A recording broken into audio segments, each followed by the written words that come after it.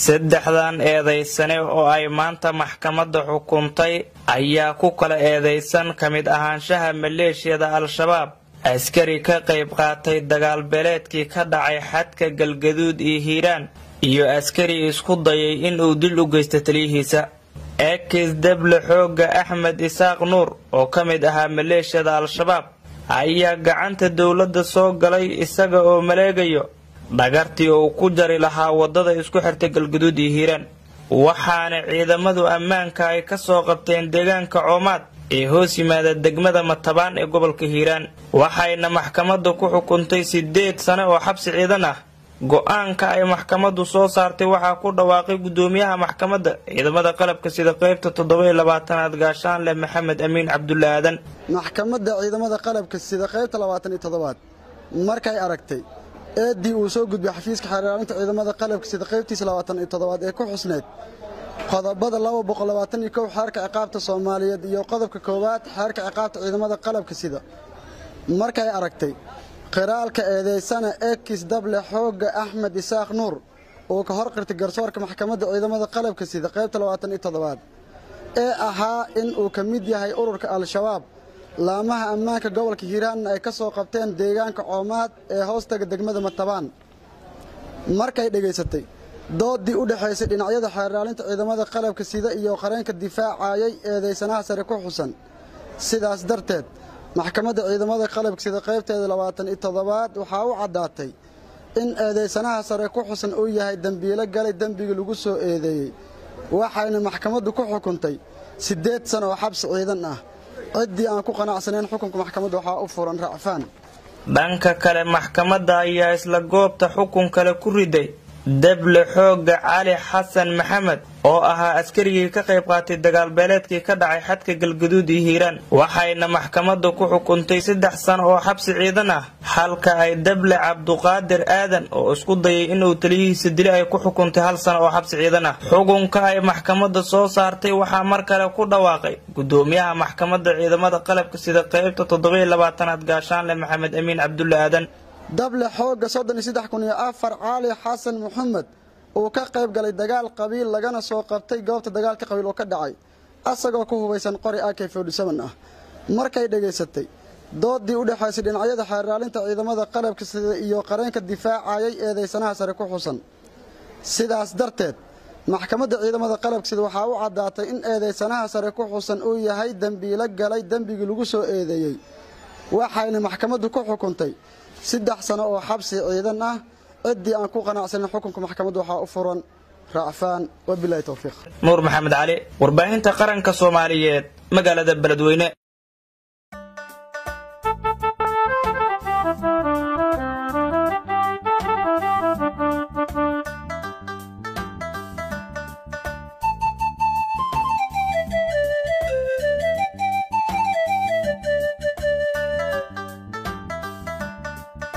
Mm-hmm.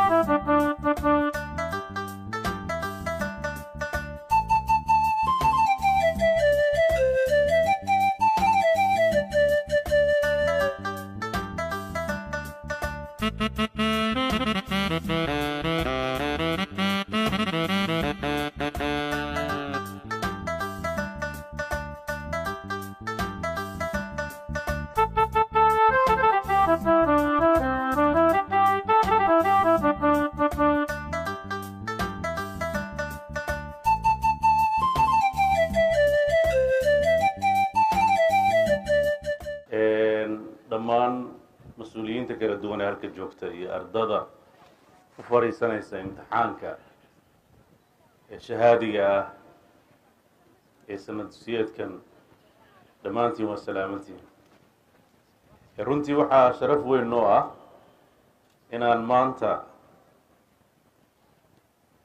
ay tahay maalintii u horreysay laguna daahfurayo imtixaanada fasalada labiyo tobnaad iyo sideedaad ee puntland oo ay nasiib u heshay in aan ka furno magaalada gaalkacyo gaar ahaan iskuulka cumar sabatar. Runtii waa waxay ii tahay farxad gaar ah maadaama iskuulkan uu yahay iskuullada puntland ugu caansan amaba aan filayo iskuulka puntland secondarygii ugu horreeyay inuu yahay. Marka wuxuu leeyahay astaan gaar ah iyo fursad gaar ah oo ardada dhigata cumar samatar ay maanta heleen. Waan garan karaa muddadii lagu jiray covid nineteen inuu wax badan xanibay duruustii ardadu ay qaadan lahaayeen. Waxaase sidoo kale ku faraxsanahay puntland inay kaalinta koowaad ka gashay la tacaalidda ardadooda oo barnaamijka online-ka ah ama telefaaska ah ee sida tooska ah ardada uga qaadanayeen imtixaanaadka casharada ay ugu horreeyeen dhammaan dadka soomaaliyeed sida warbixinta aan ku helay xataa ardada soomaaliyeed ee kiilka joogta. Fursadahan oo kale ma aysan helin markii ay waxaanu dhaceen laakiin puntland runtii wasaaradda dadaal badan bay muujisay waxaanan qirayaa aniga mustawaha tacliinta oo markii horeeto hadal igu ahaa laakiin ruuxaddeeda meelo marar badan baan fiiriyey macallimiinta casharada dhigaysa. Markuu online-ka ka baxayay waxaa iiga muuqatay dabcan ama muqararka la dhiganaya ha ahaato ama macallimiinta iyo tayadooda ha ahaato. Waxaa iiga muuqatay mustawo aada u fiican oo runtiina farxad geliyey oo aan rajaynayo inay arrimahaasi noqdaan kuwo sii socda oo in badan oo ama ardaynimadii muddo hore ka baxdayna wuxuu u noqday muraajacaad ama in badan oo fasalada soo socota ama iskuulaadka aan fursad u helinna waxay u noqotay aqoon dheeriya mashruuc runtii wuxuu ahaa waktigu uu keenay laakiin faa'iidadiisu aada u badneyd. Waxaan rajaynayaa ardada halka joogta inaysan waxba ku seegin muddadii iskuulka uu xirnaa inay aada diyaar ugu yihiin in ay imtixaankaas ay si wanaagsan u galaan. Waxaan u rajaynayaa dhammaantood guul dadaalkii ay soo qabteen. Waxaan uga mahad celinayaa maamulka iyo macallimiinta iyo guddoonka gobolka mudug oo hadda sida la sheegay ku dhowaad afar kun iyo ziyaada ay ka qayb galayso sagaal iyo labaatan xaramood oo gobolka mudug ku yaalla waxaan rajaynayaa muddada uu socdo inuu si habsame u socdo. In la ilaaliyo dhammaan anshaxa iyo habraacyada loogu talagalay imtixaankaas inay ku socdaan oo uusan ka imaanin wax dhib ah lagu waxa ugu horreeya oo la ilaalinayo inuu tahay social density inta la isu jirayo iyo caafimaadka iyo maaragtay afxirashada a wadaan inkastoo puntland sida la sheegay uu hoos u dhacay laakiin haddana xanuunkii weli waa jiraa bulshaduna runtii inkastoo xaafadihii iyo meelihii aad joogtaan inta hadda aan ka arkayo dadku ay u qaateen inuu bahalkii dhammaaday laakiin dhalinyaro yaryar baa tihiin idinku in aad aada u taxadirtaan idinkana is ilaalisaan bulshada aada la nooshihiin aad iska ilaalisaan markaad xaafadaha iyo dadka la macaamilaysaan inta laga hubinayo in xanuunkaas uu ka baxay geyigeenna aad baa u mahadsan tihiin waan ku faraxsanahay inaan igala soo qayb galay guul baan ii rajaynayaa saaka haddii ilaah idmo iyo ayaamaha uu socdo imtixaanka waa mahadsantihiin waxaa markii saddexaad dib lagu celiyey dalkii hooyo muwaadiniin tiradooda gaaraysay boqol soddon iyo saddex qof. Muwaadiniintan soomaaliyeed oo ku godoonsanaa dalkan ugandha ku dhowaada muddo saddex bil ah. Tan iyo markii uu caalamka saameeyey xanuunka coronafirus ee islamarkaana uu istaagay duulimaadyadii caalamka iskakala gooshi jiray muwaadiniintan maanta dib lagu celiyey muqdisho iyo garowe ayaa iskugu jiray. Arday soomaaliyeed oo wax ka baranaysay jaamacadaha kala duwan ee ku yaalla dalkan uganda iyo dadyow kale oo dalkan siyaabo kala duwan u joogay. Safaaradda soomaaliya ee dalkan uganda oo mar walba u taagan garabsiinta iyo ka warqabka muwaadiniinta soomaaliyeed ee ku nool dalkan uganda ayaa gacan weyn ka geysatay in muwaadiniintan dib loogu celiyo dalkii hooyo. Haddaba qaar ka mid a muwaadiniintii maanta ka dhoofay garoonka caalamiga entembe ayaa la hadlay warbaahinta qaranka. Magacayga sacdiin muxudiin cali muddo dheeraan kambaal lix biloodaan ku noolaay waxaan ku laabanaynaa maanta muqdisho waxaa ka dambeysay safaaradda soomaaliya. Dadaal dheer ee u gashay way mahadsan yihiin aad iyo aad. Dadaalkay noo muujiyeen. Maajid xasan cusmaan waxaa ka mid ah ardayda ka dhigata jaamacadaha dalka uganda.